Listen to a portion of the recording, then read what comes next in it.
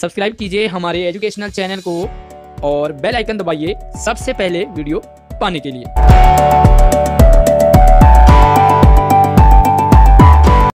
प्यारे बच्चों सीबीएसई के क्लास टेंथ के स्टूडेंट्स के लिए क्षितिज में गद्य और पद्य के लगभग सभी पाठों के एमसीक्यू टाइप इंपॉर्टेंट क्वेश्चंस की वीडियो प्रैक्टिस टेस्ट के साथ मैं आपके लिए बना चुका हूँ। लिंक आपको वीडियो के डिस्क्रिप्शन में मिल जाएगा। आप वहाँ से जाके देख सकते हैं आज की वीडियो में, जो तेरहवा पार्ट है गद्य में। मानवीय करुणा की दिव्य चमक, इस पार्ट से संबंधित एमसीक्यू टाइप प्रैक्टिस टेस्ट आज की वीडियो में आपको देखने और समझने को मिलेगा। पूरी वीडियो आपने ध्यान से ज़रूर देखनी है। स्वागत है आप सभी का। आपके अपने हिंदी ऑनलाइन क्लास में मैं हूँ आपका आशीष सर। वीडियो को फटाफट से लाइक कर लीजिए। अपने दोस्तों को भी क्लास ग्रुप में रिलेटिव में ज़रूर शेयर कीजिए। ताकि आपके साथ साथ आपके दोस्त भी इसकी तैयारी कर सके। तो चलिए पहला सवाल हम लेते हैं। और यहाँ पर सवाल कुछ इस तरह से है। फादर आ, कामिल बुलके जी में कौन से गुण विद्यमान थे? यानी कि कौन सा गुण था उनमें? मानवीयता वात्सल्यता करुणा या उपयुक्त सभी। तीनों तो कौन से उनके पास गुण थे? तो इसका जो करेक्ट आंसर है वो मुझसे पहले आपने बताना है। और इसका करेक्ट आंसर उपयुक्त सभी क्योंकि उन्हें मानवीयता भी था वात्सल्य भी और करुणा भी सभी चीज़ें थी। तो आपने इसमें उपयुक्त सभी में क्लिक करना है। और ये देखिए उपयुक्त सभी इसका करेक्ट आंसर है। आगे देखते हैं बढ़ते हैं। आ, फादर की चिंता हिंदी को किस रूप में देखने की थी? जनभाषा राजभाषा राष्ट्रभाषा या वैश्विक भाषा। तो सही ऑप्शन का चयन आपने करना है मुझसे पहले और इसका जो करेक्ट आंसर है वो है राष्ट्रभाषा। वो राष्ट्रभाषा बनाना चाहते थे हिंदी को और जो अगला सवाल है, तीसरा सवाल पति और पुत्र की मृत्यु पर लेखक को किससे सांत्वना मिली? अपनी माँ से, फादर बुलके से, उनकी बहन से या उनके पिताजी ने उनको सांत्वना दी? तो ये इसका जो करेक्ट आंसर है, वो है फादर कामिल बुलके से सांत्वना मिली लेखक को और आगे जो सवाल है, वो है इलाहाबाद की सड़कों पर फादर क्या करते दिखते थे? पैदल चलते हुए, दौड़ते हुए, बच्चों के साथ खेलते हुए या साइकिल चलाते हुए? और वीडियो को लाइक करने में आपने कोई कंजूसी नहीं करनी फ्री का लाइक है आपकी तरफ़ से। और अच्छा लगता है मैं जब आप लाइक करते हैं तो इसका करेक्ट आंसर है साइकिल चलाते हुए। इलाहाबाद की सड़कों पर जो फादर कामल बुल्के, वो साइकिल चलाया करते थे। पांचवा सवाल, फादर बुल्के के पिताजी क्या थे? क्या वो एक अध्यापक थे या डॉक्टर थे या व्यवसायी थे या इंजीनियर थे? फादर बुल्के के पिताश्री क्या थे? किसी भी सवाल में डाउट हो तो मुझे कमेंट कर सकते हैं और इसका जो करेक्ट आंसर है वो है व्यवसायी। यानी कि वो अपना बिज़नेस करते थे। अगला सवाल फादर कामिल बुल्के से बात करना लेखक के लिए किसकी तरह था?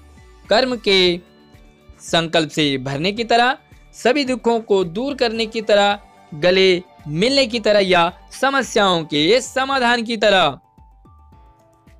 तो करेक्ट आंसर मुझसे पहले देना है और उससे पहले वीडियो को लाइक कर लीजिए। छोटी सी रिक्वेस्ट आपसे। और इसका करेक्ट आंसर है कर्म के संकल्प से भरने के लिए।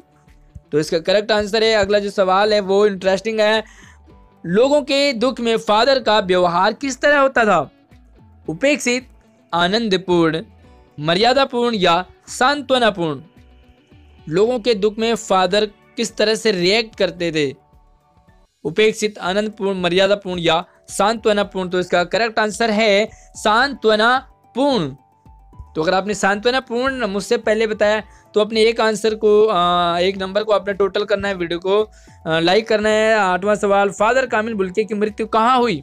इलाहाबाद में, दिल्ली में, मुंबई में या रैम्स चैपल में? तो प्यारे बच्चों, आपने अपने आंसर को भी टोटल करते रहना इसका सही आंसर है, दिल्ली में हुआ था, ठीक है? तो अगला सवाल नवा है, फादर बुल्के ने जिसेट संघ में दो वर्ष किस की पढ़ाई की? कौन सी चीज़ की? धर्माचार्य की, मेडिकल की, इंजीनियरिंग की या हिंदी भाषा की? जिसेट संघ में दो वर्ष।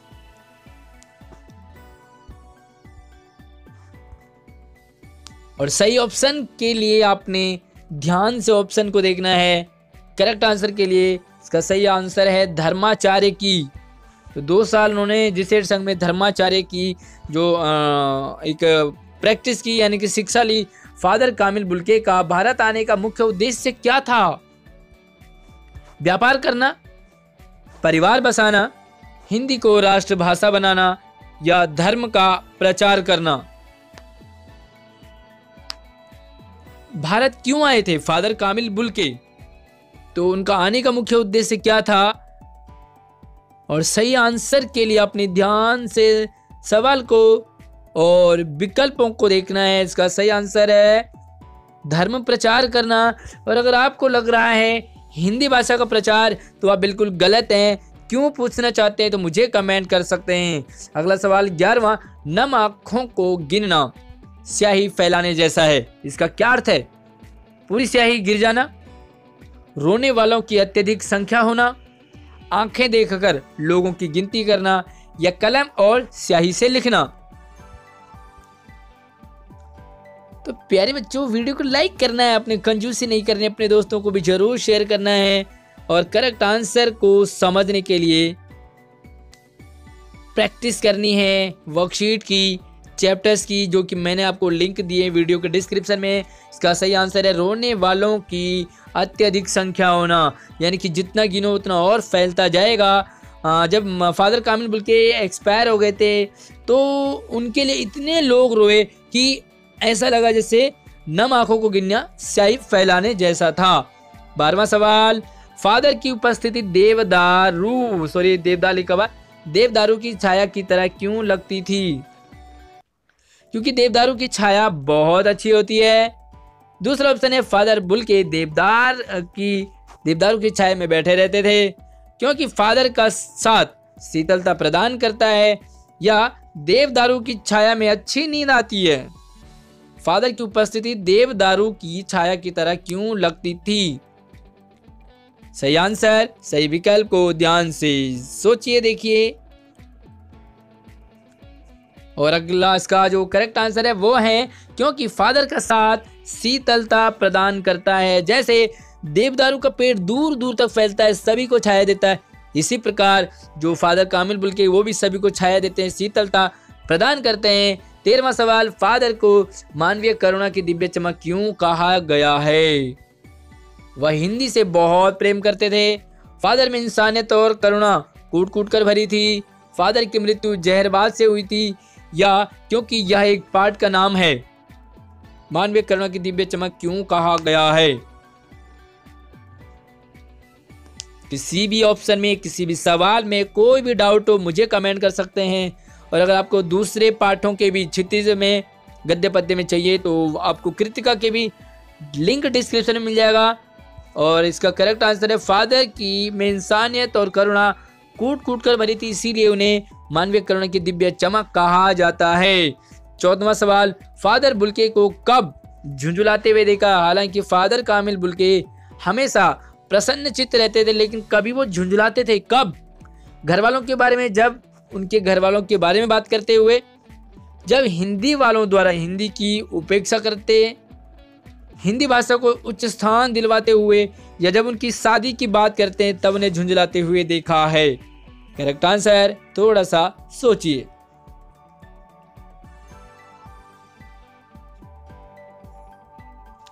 और आपको किस चैप्टर में सबसे ज़्यादा डिफिकल्टी होती है, मुझे कमेंट ज़रूर कीजिए, चाहे क्षितिज में हो, कृतिका में हो, या गद्य पद्य में, उसका सही आंसर है, हिंदी वालों द्वारा, हिंदी की उपेक्षा करना सॉरी ये जल्दी हो गया। हिंदी वालों द्वारा हिंदी की उपेक्षा करना, इसका करेक्ट आंसर है। पंद्रवा सवाल फादर को याद करना, डैश जैसा है, कैसा है सॉरी तो ये डैश जैसा यानी कि कैसा है? शांत संगीत सुनने जैसा, निर्मल जल में स्नान करने जैसा, कर्म के संकल्प से भरने जैसा, या बड़े भाई और पुरोहित जैसा। फादर को याद करना। प्यारे बच्चों, कोई भी चैप्टर आपको टफ लगे तो मुझे कमेंट कर सकते हैं कि हमें इस चैप्टर को समझना है। तो मैं आपकी कोशिश करूँगा आपके लिए उस चैप्टर को इजी करने की। और इसका करेक्ट आंसर है शांत संगीत सुनने जैसा। तो प्यारे बच्चों, ये है आपके पास। आज की जो हमारे पास जो चैप्टर है मानवीय करुणा का दिव्य चमक, इसमें पंद्रह जो सवाल आपके टोटल थे, कितने आपके आंसर आए, मुझे कमेंट में बताएँगे। वो ऊपर लिख करके जितने भी आए हैं, और वीडियो को लाइक कीजिए, अपने सभी दोस्तों को शेयर कीजिए, कोई भी डाउट हो, मुझे कमेंट कर सकते हैं। और नहीं दूसरे पार्ट के जो प्रैक्टिस टेस्ट है, वो वीडियो के डिस्क्रिप्शन में आप उसे ले लीजिए, उसे भी देख लीजिए। ताकि आपके जो मार्क्स हैं वो 98 समथिंग आने चाहिए। जय हिंद जय भारत।